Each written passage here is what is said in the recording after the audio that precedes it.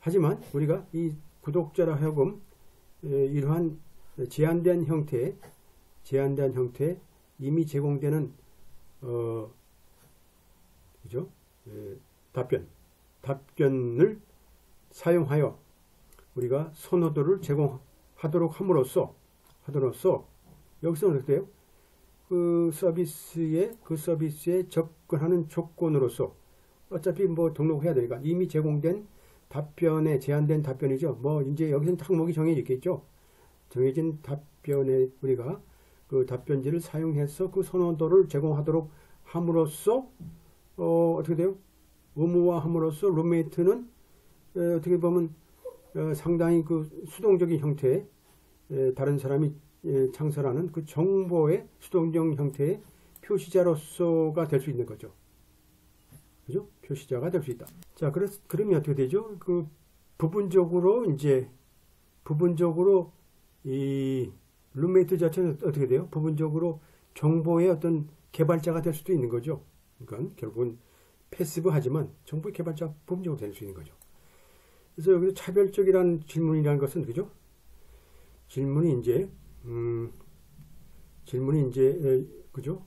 어, 그렇게 요구가 되고 또 결국은 이제 개발되고 또 이러한 결국은 차별적인 답변이 되는 거죠. 답변이 될 수밖에 없는 게 이제 어, 의무적으로 항목이 되어 있으니까. 따라서 룸메이트라는 것은 결국은 그러한 명단을 제한적으로 어, 검색하도록 이제 이렇게 만들어져 있는 거죠. 만들어져 있는 것이다. 그러니까 우리가 이제 차별적인 그 명단 자체가 결국 어떻게 돼요? 우리가 이것이 여기서 보면 젠더나 섹슈 오리엔테이션이나 또 뭐 아이가 있는지 없는지 이런 것들을 이제 우리가 정보를 이제 제공하도록 되는 거죠. 또한 룸메이트 자체는 뭘까요? 또 이러한 불법적인 콘텐츠를 이제 이렇게 에, 요구를 에, 하거나 또 사실상 에, 그것을 이용해서 우리가 사업에 이용할 수도 있는 거죠. 또 사실상 이러한 차별적인 질문 혹은 답변 그러한 검색 그 메커니즘을 개발하는 데 있어서의 룸메이트의 업무라는 것은 업무죠. 업무. 그리고 또 어, 이러한 구독자들이 소위 이러한 차별적인 주택 관행을 하도록 하는 그런 시스템을 우리가 어, 집행함에 있어서의 어떤 룸메이트의 업무라는 것은 오히려 이런 경우는 어떻게 돼요? 인포메이션 컨텐츠 프로바이더 역할을 오히려 어, 붙이고 하고 있다라는 거죠. 따라서 사실상 230조가 적용이 되지 않는다. 따라서 면책 여건에 해당되지 않는다고 이렇게 주장을 하고 있는 거죠. 그 다음에 또 이런 어디셔널 추가적인 그런 섹션을 만들어 가지고 우리가 사실상 이 프로파일 페이지죠. 여기에 차별적인 에, 내용을 우리가 표시하도록 어, 적도록 한 그 내용에 대해서는 어떻게 생각하느냐라는 부분에 대해서는 어때요? 자 봅시다. 자 룸메이트들은 이제 룸메이트가 결국 닷컴이 구독자로 하여금 자 어디셔널 커멘트를 자신에 대해서 그리고 원하는 룸메이트죠 랭크 박스에다가 결국은 이제 그 이제 등록 절차 과정에서 그런 것들을 이제 수도록 함으로써 자신의 프로파일을 개인화하도록 이제 동요하는 거죠. 그래가지고 이러한 커멘트들을 아무 수정 없이 이제 결국 음, 온라인으로 나는 거죠. 실어, 실은다. publication이죠. 발행한다라는 거죠. 이런 경우는 뭘까요?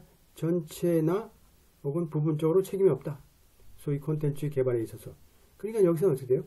예, 결국은 항목에서 뭐 본인이 끝에다가 우리가 등록 과정에서의 우리가 blank 텍스트 박스를 만들어 가지고 원하는 룸메이트를 우리가 어, 에 대해서 우리가 추가적으로 본인이 에, 원하는 내용을 명기하도록 함으로써 우리가 프로파일링을 개, 그죠? personalize 하는 그렇게 독려하는 것 자체는 우리가 부분적이나 전체나 부분에 대해서 책임이 예, 없을 수 있다는 거죠. 없다. 그죠? 이런 게 결국 뭘까요? 230조가 우리가 어, 보통 요구하는 그런 사항들이죠. 정확하게 사항에 맞아떨어지고 이것은 바로 이제 에, 면책 요건에 해당된다라는 거죠. 그래서 우리가 이런 면책 요건은 우리가 이러한 차별적인 문서, 그죠? 문자? 주장 이런 내용들에 대한 추가적인 그죠? 커멘트를 우리가 어떻게 명시하냐에 따라서 우리가 책임 있느냐 없느냐를 우리가 구분 지을 수 있다는 거죠. 마지막으로 one final note 마지막으로 어, 우리가 생각해야 될 것은 뭘까요?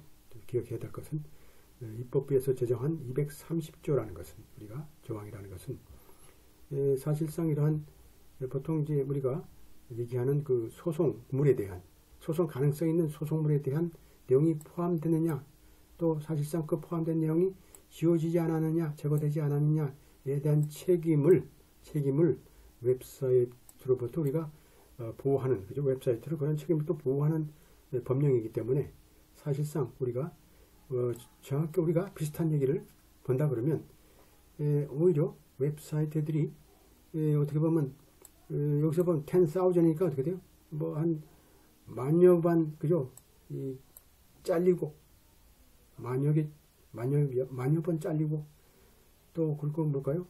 이러한 액셔너블 컨텐츠 자체를 개발하고 그들이 개발하고 창설한 그러한 이 그죠 이 수많은 그 주장에 대한 그죠 이러한 주장에 대해서 우리가 싸움을 이기기 위해서 그리고 어, 또 그러한 죽음을 맞지 않겠어 한마디로 이제 문을 닫지 않도록 하기 위해서 그죠 하기 위해서 우리가 이러한 면책 요건이 우리가 에, 있어야 된다라는 거죠 면책 요건은 결국은 이러한 크로즈 케이스 같은 이러한 그 언론의 기능을 어, 비슷하게 유지하는 그런 어, 사항에 대해서 우리가 충분하게 우리가 이런 고려해야 된다는 뜻이죠.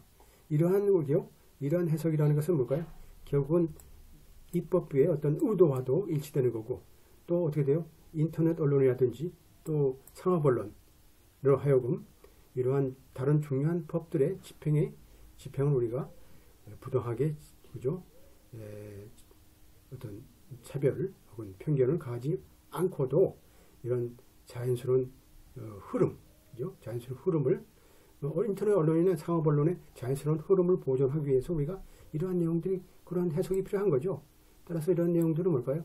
뭐 일부 우리가 조금 이제 에, 에, 어떤 내용이 포함된다 하더라도 어느 경우에 따라서는 언론이 우선이기 때문에 언론의 자유가 우선이기 때문에 우리가 충분하게 이 내용을 우리가 인식해 가지고 어, 230조를 우리가 과감하게 적용하는 것도 굉장히 우리가 에, 필요하다라는 이제 이런 내용들이 있기 때문에 여기서 뭘까요? 에, 일부는 이제 어, 그죠 받아들이고 일부는 이제 받아주지 않는 그런 형태로 우리가 파기환송된 그런 케이스라고 볼 수 있겠어요. 그래서 이제 보게 되면 저 introduction에 보게 되면 여기서 보면 뭘까요? 뭐 one, two가 돼 있고 one, two는 뭘까요? 여기서 얘기하는 우리가 에, one, two는 우리가 보게 되면 one, two는 우리가 어떻게 돼요? 이 소위 이제 면책이 되느냐 또 또 어떻게 돼요? 우리가 원, 투에 대한 우리가 얘기했던 대로 이런 하디의 문자 내용 자체가 사실상 명예훼손에 속하느냐 그죠? 그리고 이게 사실적 주장이라 그러면 또 고스링 자체가 어, 언론으로서의 역할로 우리가 하드에 이러한 명예훼손 쪽, 명예훼손 쪽 주장에 대해서 우리가 면책 요건에 해당되느냐 이 두 가지 내용을 우리가 어, 우리가 어, 따졌죠. 첫 번째는 뭘까요? 뭐 보게 되면 어떻게 할 수 있느냐, 그죠? 니 씨가 결국 입증할 수 있느냐는죠. 그래서 하디의 문자 내용 자체가 명예훼손적이냐 아니냐라는 것을 우리가 판단을 하는 거죠. 판단할 수 있다. 그래서 우리가 이제 그래서 이제 명예훼손의 구성 요건이 뭐 있죠? 있고 여기서 이제 네 가지로 잘 정리되어 있고 그다음에 4CT에 대한 부분들이 지금 나와 있어요. 나와 있고 온라인 언론에 대한 우리가 포럼에 대해서 우리가 설명하고 있고 그 다음에 이제 또 발행을 해야 되겠죠. publication 또 제3자에 의해서 되죠. 그 다음에 damage가 있어야 되죠. 이런 것들이 이제 false statement가 있고 이런 것들이 이제 명예훼손의 구성 요건이니까 위에는 뭘까요? 다 룰들이죠. 룰들을 잔뜩 있는 대로 적고 그 다음에 이제 우리가 하나씩 이제 사실관계를 따져봐야 되겠죠. 실제로 이제 여기는 이제 뭉뚱그려 가지고 포함시켜서 우리가 사실적 주장과 그 다음에 어, 허풍이라든지 또 카타, 카타르시스적인 내용이라든지 혹은 또 의견이라든지 이런 것이 쭉 이제 설명이 나와 있으니까 여러분들이 구분해서 이제 보시면 될 것 같고요. 첫 번째는 이제 그렇게 돼 있고, 그 다음에 이제 이건 또 falsity가 돼 있죠. falsity 돼 있고 그 다음에 고, 이제 고스링의 두 번째 이제 이슈로서 고스링의 230조 면책 사유가 해당되는지 우리가 봐야 되겠죠. 거기는 뭘까요? 당연하게 우리가 information contents provider인지 아니면 뭘까요?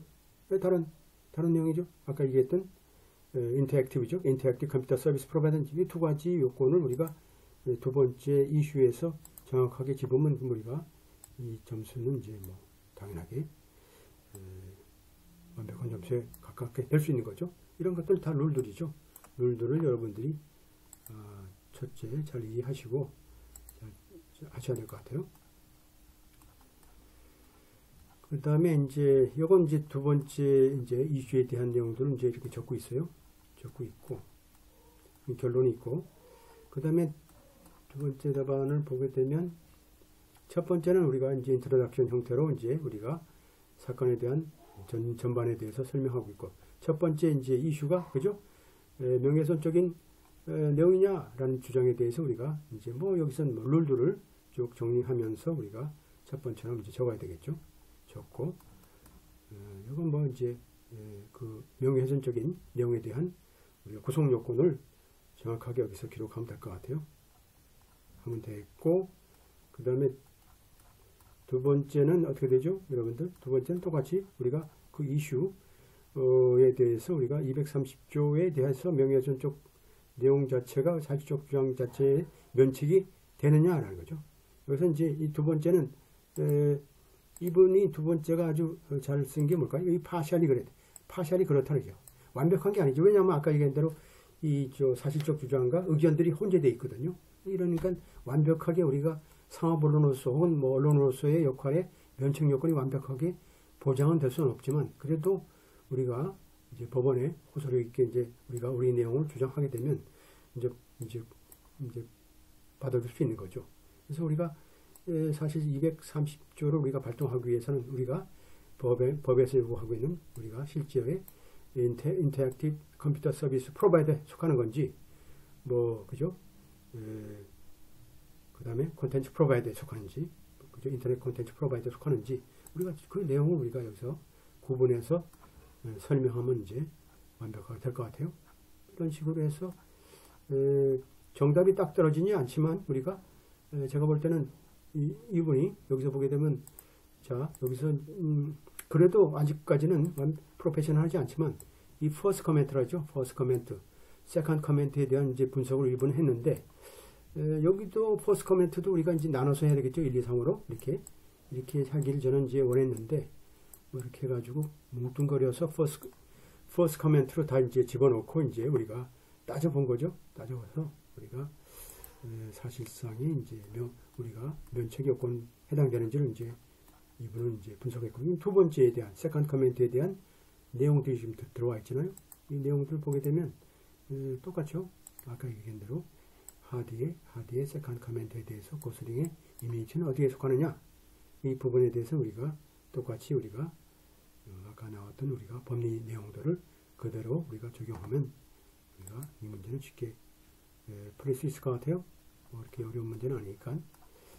그래서 이것이 이제 언론에 대한 문제이기 때문에 여러분들이 특히 명예훼손에 관한 문제이기 때문에 굉장히 여러분들이 어, 자주 접하는 그런 문제가 아니기 때문에 어려워할 수 있지만 어, 제가 오늘 설명한 대로 그렇게 예, 그 문구 자체에 대해서 우리가 의견인지 혹은 이것이 뭘까요? 뭐 사실적 주장인지 혹은 허풍인지 뭐 그죠? 자기의 어떤 카타르시스를 어떻게 내뱉기 위해서 한뭐 도둑놈이라든지 사기꾼이라든지 이런 내용들이 이런 내용들이 결국은 중요한 아, 단초가 될 수 있겠죠.